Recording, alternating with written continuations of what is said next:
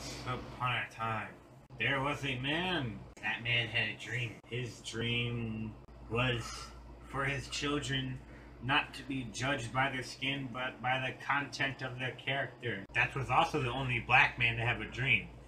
You know what happened to him? He's dead now. Don't dream.